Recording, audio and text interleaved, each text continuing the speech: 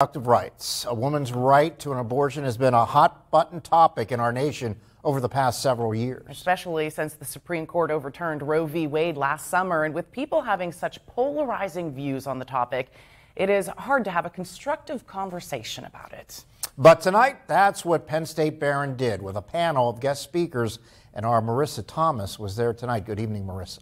Good evening, Mike and Emily. Members of tonight's panel didn't just have one opinion on abortion or U.S. policies or ethics surrounding abortion. It was a complex discussion without judgment.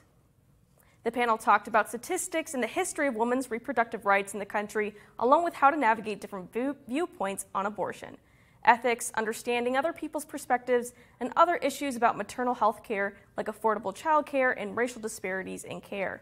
One speaker and community activist says while it may be uncomfortable for some people with strong views, these conversations need to happen.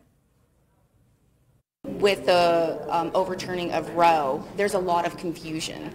Uh, I think people thought immediately that means it's illegal. That's not true. It's state by state, which also lends to a whole other uh, basket of confusion. So having these conversations uh, educates the populace about what is and what isn't, and I think we have to have these conversations. And it also, it's also going to affect the way that we vote moving forward.